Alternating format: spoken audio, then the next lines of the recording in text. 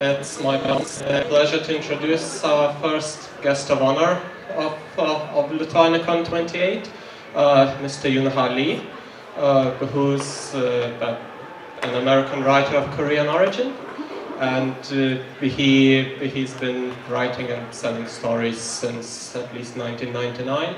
And his first novel was nominated for the uh, Hugo Award this year and won the Locus Award for the best, uh, best debut novel. So without further ado, Yoon Ha. Hello everyone.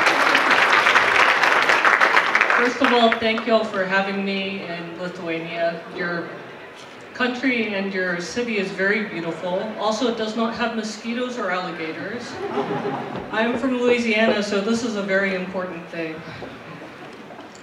I am talking here today about world building and games, and I am actually very delighted to see that there are people selling board games and card games outside in the lobby there. I grew up playing uh, not just board games, but also card games and tabletop role-playing games. So things like chess, uh, Go, which I don't know how well known it is in Europe. It's called Baduk in South Korea and Weiqi in China. Um, we played, my sister and I tried to play poker and we're very, very bad at, at it. But we were playing for chips, so it didn't matter.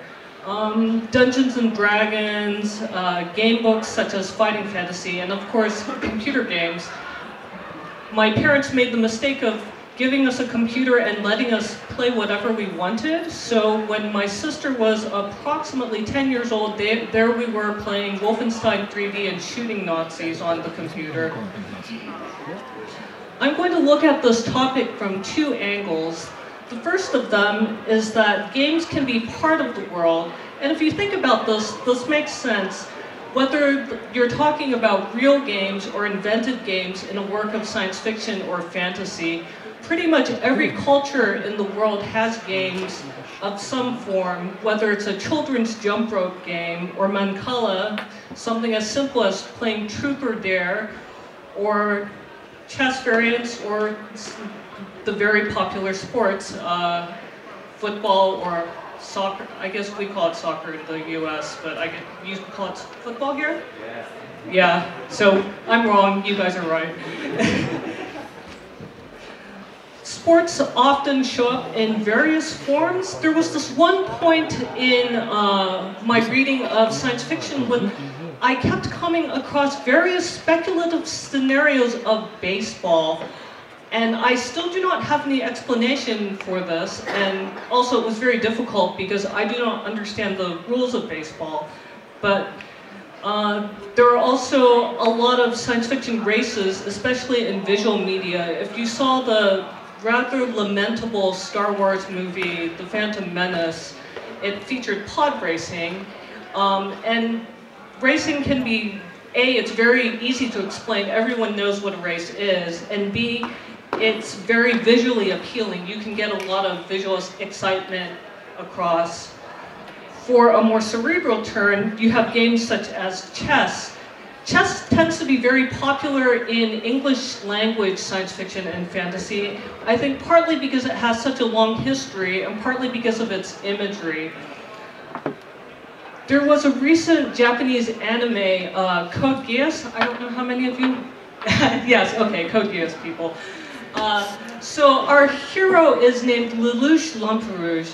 And in the very first episode of this anime, he is shown playing chess against this arrogant nobleman, and he completely wallops the nobleman at chess.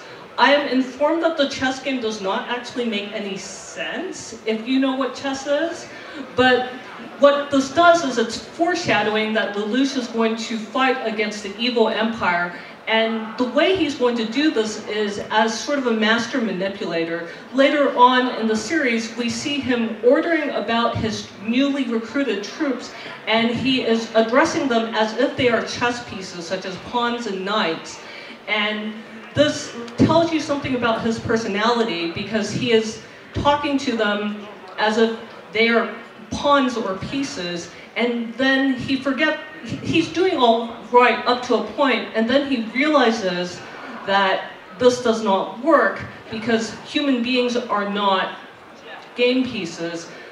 His, uh, basically his recruits have an issue where they don't understand his orders and they have a, they freak out. They have a failure of morale. And part of his growth during the series is him learning how to manipulate people. It's sort of his primary mode of being and also in a way his downfall.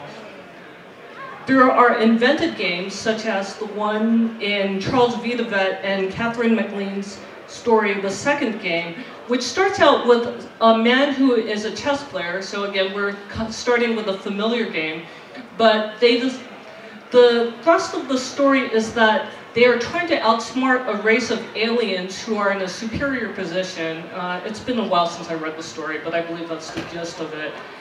And there's a gambit in the game that is echoed in the plot of the story. So in order to outsmart the aliens in the game, he, is, he also has to outsmart them in uh, their political relations.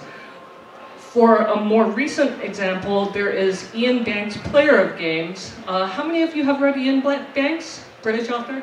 Yeah. Uh, he has a protagonist who is a master game player, and yet he does not realize that he is himself being played or manipulated by powers in his society.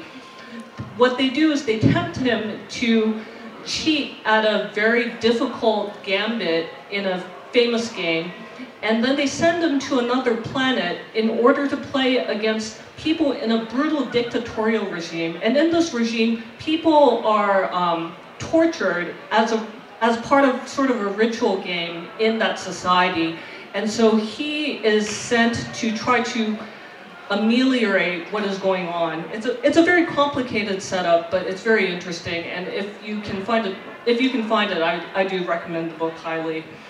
Um, in Piers Anthony's Macroscope, there are musings on a game called Sprouts, which was invented by mathematicians John Conway and Michael S. Paterson.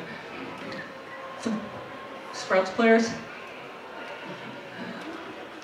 The gist of the game of Sprouts is that you start with two dots, you draw two dots, and you draw a line between them, and then you place a new dot on the line and your line can go around, I mean, I say line, it's not a line in the mathematical sense, but it can be a curve, it can go around, around things, it can go around other dots, so long as it doesn't intersect itself. And what you do is you keep connecting, players take turns connecting the two dots and putting down a new dot until no one can move anymore. And the last player who is able to make a move is the winner. It sounds like a very simple game, and the, the rules are very simple, but it's actually mathematically more complex than it sounds. And that's, that's actually true of a, um, a lot of uh, games that have very interesting complexity. Go, for example, has very, very simple rules, but is very difficult to uh, play at a high level. There is a second angle which is perhaps more interesting, which is using existing games as inspiration for world building in your works of science fiction or fantasy. There used to be sort of an interesting subgenre, almost stereotypical, uh, where people would take their role-playing games, such as Dungeons and Dragons, or uh, I don't know what common games are here. Uh, there's a German one called Das Schwarze Auge that I saw a version of. But there used to be the stereotype that people would write up versions of their role-playing game campaigns. This does not tend to work so well because games uh, rely on player participation in a way that cannot be replicated so easily, easily for the reader. But you, if you don't take it so literally, it can be done successfully. There was a series by a, an American writer named Joel Rosenberg called Guardians of the Flame.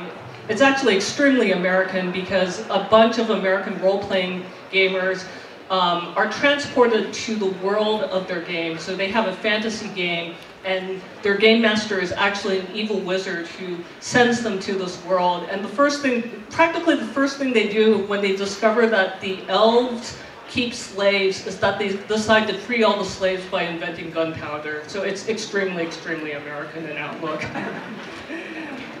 um, There are also many tabletop role-playing games, war games, miniature games that have rich campaign settings. Uh, for example, Dungeons and Dragons had one called The Forgotten Realms, and it had many interesting characters such as Elminster, uh, the Black Dark Elf, who was actually not evil, Drizzt, I cannot pronounce his name, it's, it's something like Drizzt Do'Urden. Uh, Planescape was a very interesting one that I will talk a little bit more about later. Uh, Warhammer 40k, or Warhammer 40,000, which is known for its grim, dark future, in which you have orcs and space marines and chaos. Uh, this spawned a whole bunch of tie-in novels and was actually one of the inspirations for my space opera trilogy. Battletech was somewhat inspired by the Japanese anime giant robots, uh, mecha and genres, and it also had a large series of novels based on the property. And I think we're seeing a little more of the giant robot thing going on in American science fiction, simply because anime has penetrated the culture to such an extent. If you're familiar with Pathfinder, Pathfinder is a Dungeons and Dragons derivative, uh, that also has tie-in novels and a very typical uh, Western fantasy. You know, it has its elves, it has its halflings, which are really hobbits, except you're not allowed to call them hobbits because the Tolkien estate will sue you if you do. You also have video games that have very rich worlds and backstory. There is an on, massively online game called EVE Online that I used to be an EVE Online widow Will or something, because my husband would play it for pretty much all the free time that he had, and I would, there was, okay, there was this one time I had a pressing question about black hole physics, and my husband is a gravitational astrophysicist, and I said, dear, could you answer me this question about black holes? And he said, no, I have to play my spaceship game. so I went to a website, and I have not stopped teasing him about this ever since.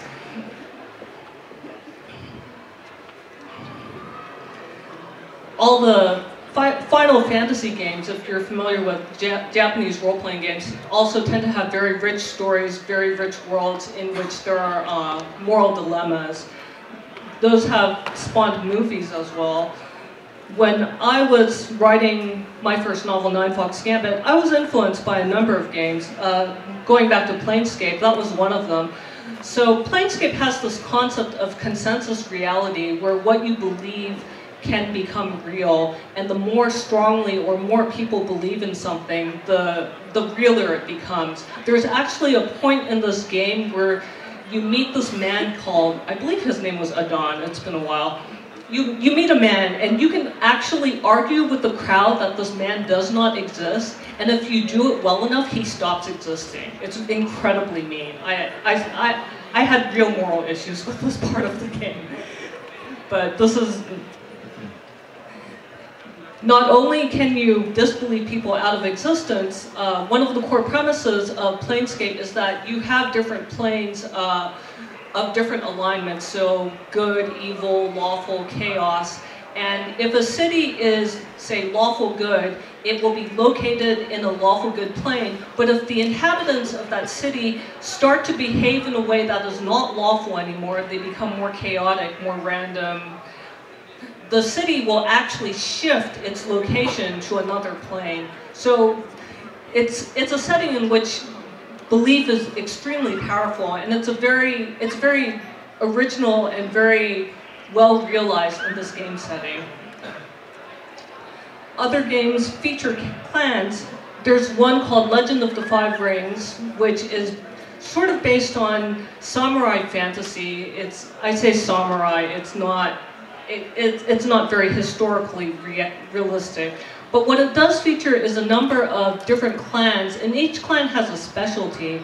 This is something that we see in a number of games, such as Vampire the Masquerade. You can also see it in fantasy series such as uh, the Song of Ice and Fire, the Game of Thrones books, and of course the Harry Potter Hogwarts houses, where each house or faction or clan has its own specialty, and every And the, what this does is it encourages people to identify with their own group. It, it's sort of it's sort of a very tribal thing going on. So that's one other place where I took inspiration from games. When I was writing my book, I decided that, well, I'm writing a horrible dystopia, but as a way of giving people an entry point into the setting, I am going to divide my uh, elites into these six different factions. So there's a spy faction, there's a military faction, there's a high culture and diplomacy faction, and that would help people get a handle on the setting more easily. You can get inspiration from uh, game supplements. There, there is one called City of a Thousand Masks, I believe, which is, which is uh, it's a list of 1,000 non-player characters that you that are sort of generic. For example, evil crime lord, innocent wife, and you can take them and you can drop them into any of your game settings. But the thing is, you can also use this as a resource when you're writing something. You could drop someone into you could drop someone into your story and use that as inspiration. Game mechanics are often an interesting starting point for magic or technological systems. If you think about it, when you're writing a, when you're writing a story and you have a specific magic system, such as uh, the channeling from Robert Jordan's Wheel of Time, or the sorry, lost my thought, train of thought. Anyway, you can have Oh, yes, sorry. Brandon Sanderson. Brandon Sanderson is an American writer who is known for very mechanistic, very uh, almost physics-like magic systems. And what I mean by physics-like is not that they can actually happen in real life, but that there's a very rigid set of rules, and once you know the set of rules, he extrapolates from them very rigidly. So it's almost like a game system. And it would not be difficult to take a Brandon Sanderson system and turn it into a game. So it's a very similar mode of thought that you can use when you're developing a story. Does anyone have questions or comments so far? Okay. sometimes you see people taking inspiration from video games.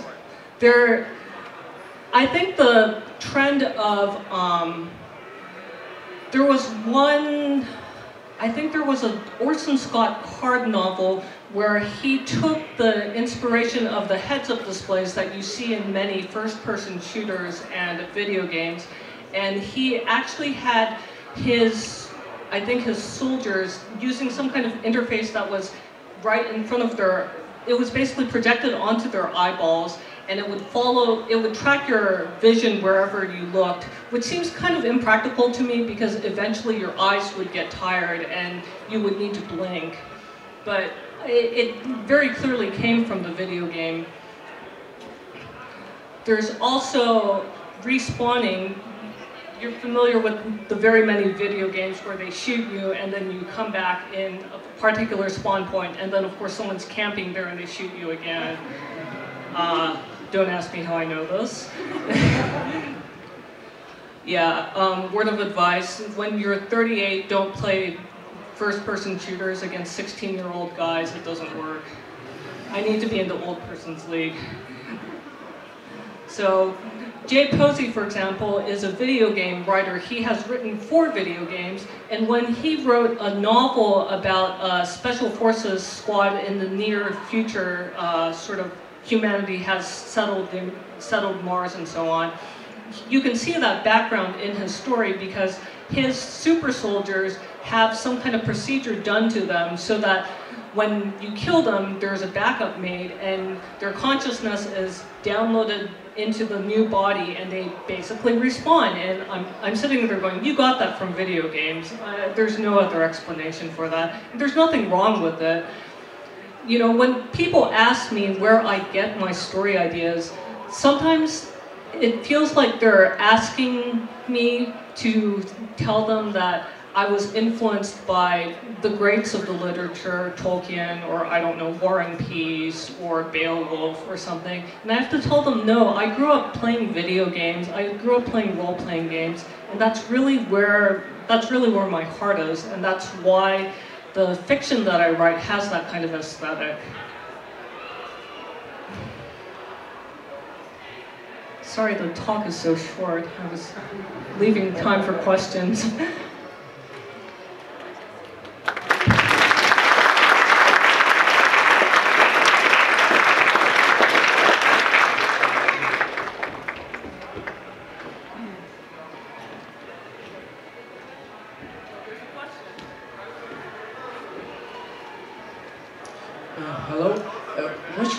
say is the most creative video game you have played and which would you recommend the most for everyone?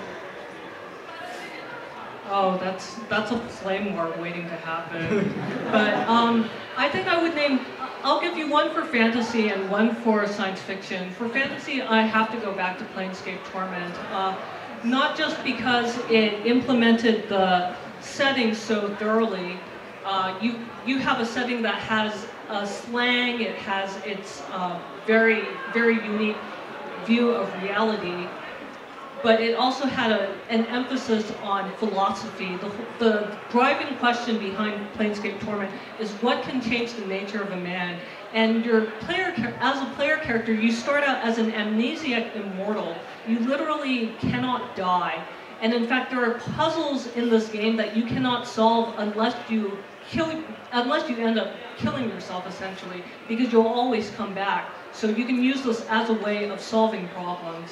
The science fiction game that I found most influential was actually Sid Meier's Alpha Centauri, which uh, it's sort of based on the Civilization franchise of games, but it was a science fiction take, so you have your different factions that have settled a new planet called simply Planet.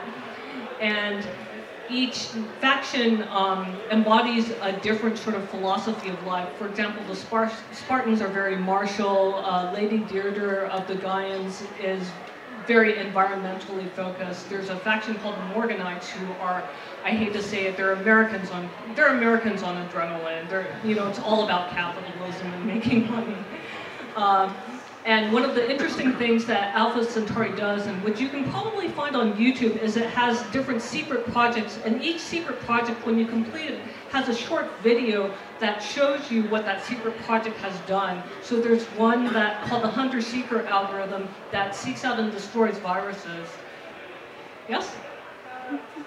Oh, no, that's fine.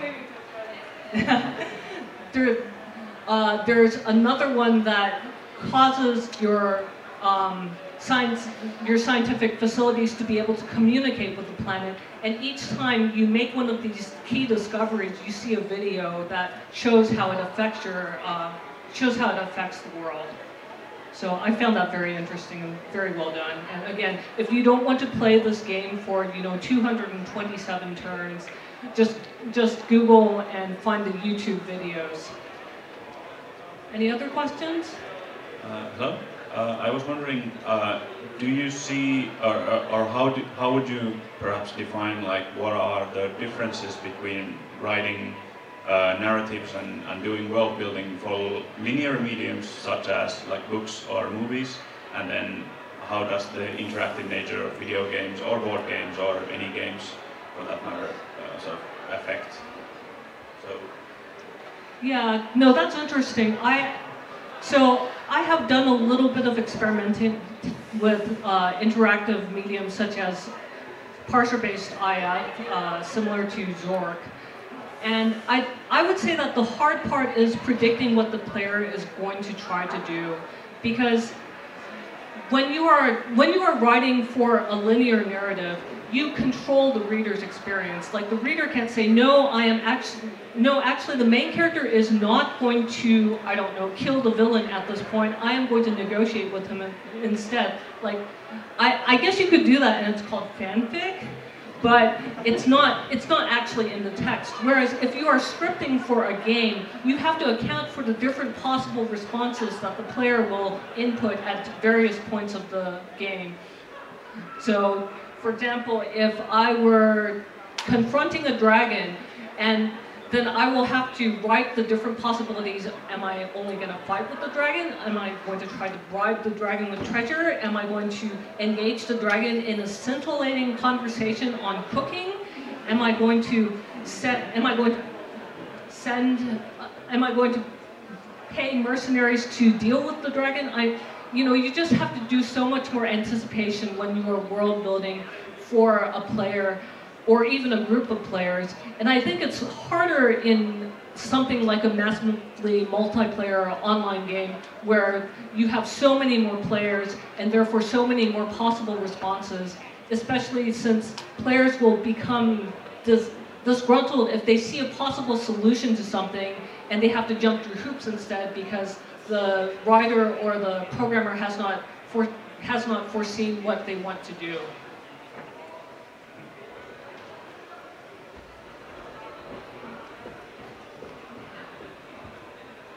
Uh, question would be, um, do you think it's hard not to overbuild the world? I mean, there are stories we know where the world essentially overwhelms and, and pushes away the hero and, and the action.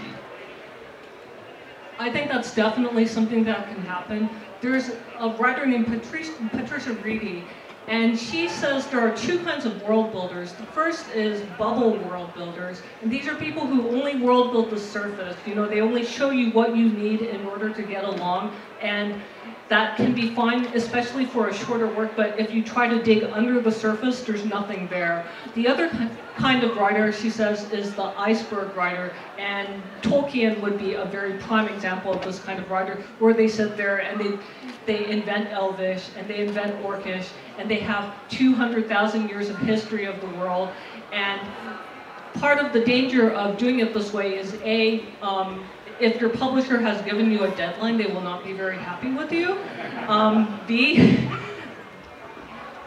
it can definitely be a detriment in a very action-oriented narrative because basically anytime you want the reader to be focused on something, the more the more words you put in their way, the harder it will be for them to get through to into the narrative. So that's definitely something that can happen, yes.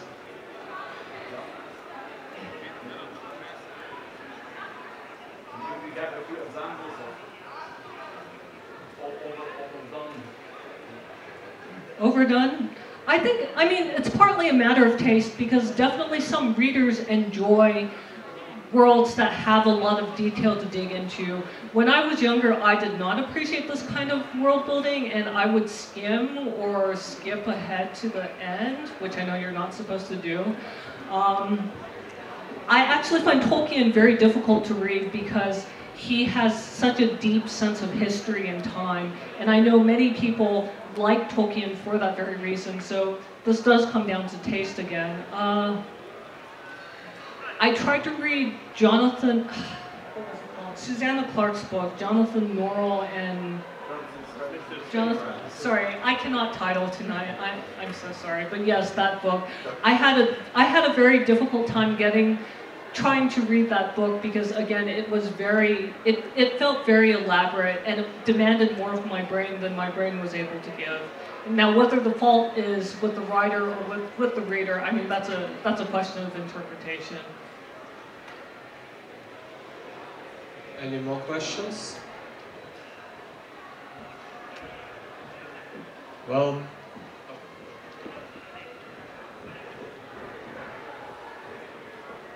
I just wanted to say there is a way in which fantasy you can get the reader to do a lot of the work. You can give a hint at, to the reader, and then the reader builds castles in their own mind without um, the writer having to do too much work. I just wondered if that was useful, that technique is useful to you, or whether um, coming from games you need a, uh, the game structure is, is, is more where you're focused. Oh, that's an interesting question. So with my first novel, one of the things that people Okay, one of the things that some people liked and one of the things that some people hated was that I did not do, I basically didn't do exposition. I did not explain anything. So I had, for example, an object called a weather eater. And what the weather eater does is, you know, if there's a storm, sorry, didn't break anything, I swear. Anyway, I'm gonna put this down here before I do break something. Anyway, what, what a weather eater does is it's a it's a magical construct where you launch it at a storm, it eats the storm, there is no more storm. But I never actually spelled this out. Instead, I had people I showed people using the weather eater and they were supposed to infer from both the name and from the action what it did. Some people really liked this because they felt that I was trusting them to figure things out for themselves. Other people found that this hurt their brains and they were not having any of it. So I think it can be a very useful technique, but you know, you do, if the farther away you get from standard science fiction or fantasy terminology, for example, at this point, if we say hyperdrive, everyone knows what a hyperdrive is. Like, you don't have to sit there and say, oh, and by the way, the hyperdrive expands space or punches a gate through space-time or whatever. Like, we all understand what a hyperdrive is. But if you make up something that is not in the common vocabulary of science fiction and fantasy, that does not um, adhere to the tropes that we are familiar with, then you are, I think you're likely to run into more problems. Or that's been my, my limited experience. Anyone else? Okay.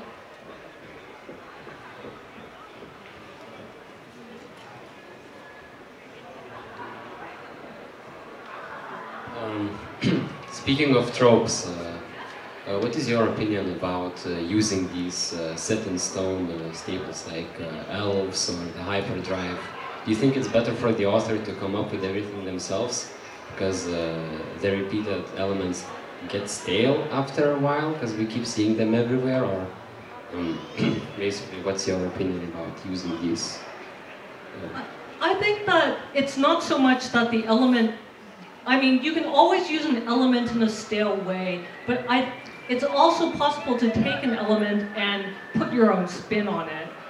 And the other thing to remember is that there's always a new generation of readers coming into this stuff.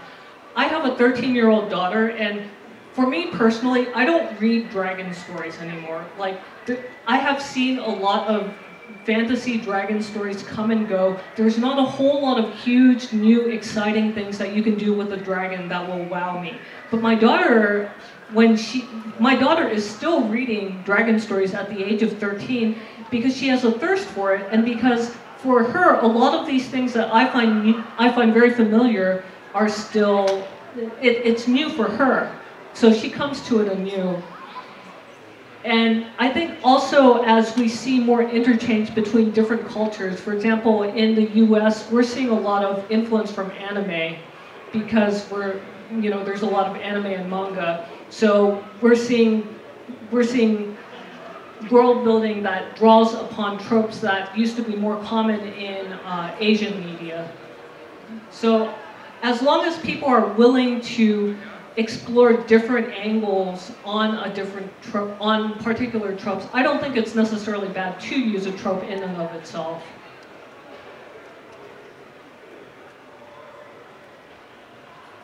We still have a lot of time for questions, so, so don't hesitate to ask.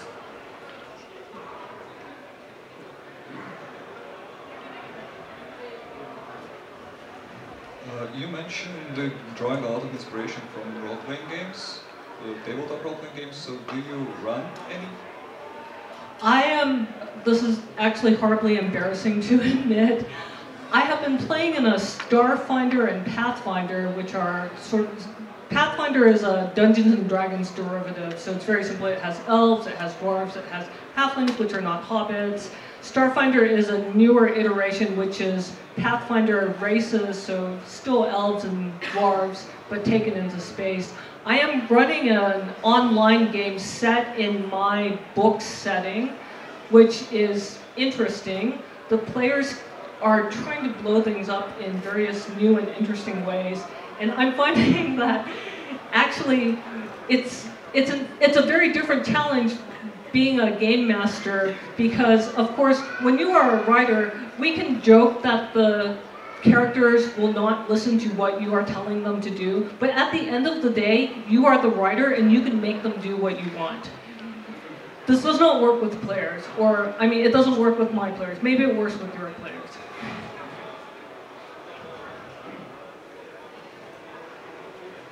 Yeah, hi. Hello.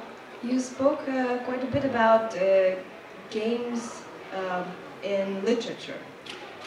But what about literature in games? Do you think it adds to world building to include a lot of literature inside the game, like for example in Skyrim, where you have all of these books and uh, tomes uh, uh, of different stories I think the game? Do you Oh. think uh, people read them? Do you think it helps them, or is it pointless? It's not necessarily pointless, but from the game designer side, so I have been researching game design as something that I do on the side. And one of the things they say is that, especially these days when people are so crunched for time and so impatient to get to the gameplay, people will scroll down and just click next. So if you write really long, elaborate, unskippable stuff, there is a there is definitely a tendency for people to skim and not get the benefit of that extra world building. I think the best of both worlds is where you make it optional or you keep it very short and succinct so that the reader, the game player, does not become overwhelmed.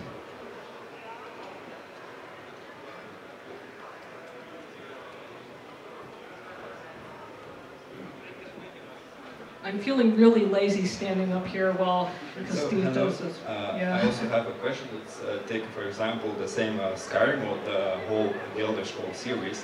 Uh, the lore in the game is like really expansive. It takes, I think, over 10,000 years or something like that. And they're just, you have all the dynasties of emperors and uh, battles happening and so on. So what I want to ask you, um, do you think that maybe some uh, well, games books just simply overdevelop the worlds and uh, well maybe they shouldn't do it and uh, just a waste of time because as you said previously some people just skim through it I think I think in some cases it's a it's a case of overkill. I know that I mean I'm a writer and I know how much work it takes to write every one of those darn words. And even so I find myself skipping some of the lore in games, so I definitely sympathize with that. It I think the fastest way to keep me interested is not talk about, for example, the so, the queen of so and so dynasty 200 years ago that is maybe only tangentially relevant to the game. Um, but the games that I am most likely to read are the ones that are funny.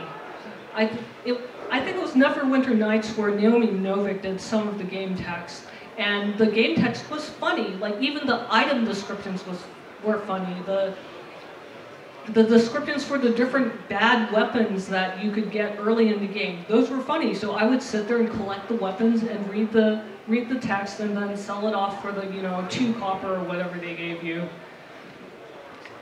So it's definitely a case of having to find ways to keep the reader's interest.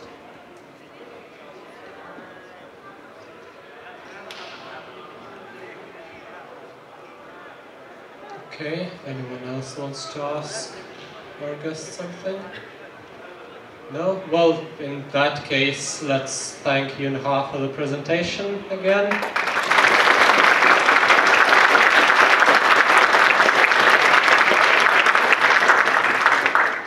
And now there's about half an hour, a bit more, until the next talk.